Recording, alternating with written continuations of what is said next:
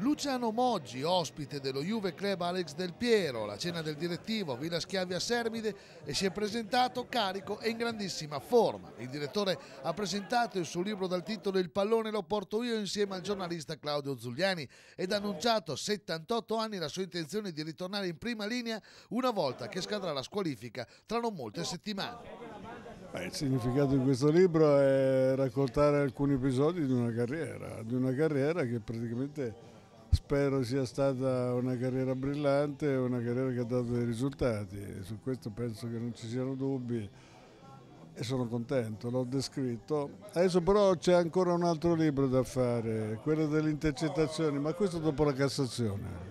Vado sempre avanti per la strada mia, certo di quello che ho fatto e quello che posso fare, non mi monto mai la testa per cose che praticamente potrebbero non succedere, vado avanti, vado avanti perché nella vita arrendersi è sempre una cosa brutta. Io ho sempre ritenuto la paura, la, la, paura la più brutta consigliera che una persona può avere. E il calcio è diverso perché è diversa la qualità, diversa la qualità dei giocatori perché il calcio sono sempre 11 giocatori in mezzo al campo.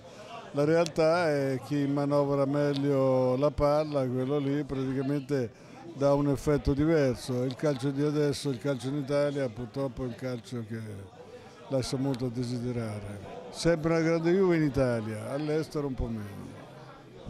Davanti a tutti gli Juventini, Luciano Moggi ha poi lasciato la cena in anticipo tra l'entusiasmo dei tifosi con tanto di fuochi d'artificio.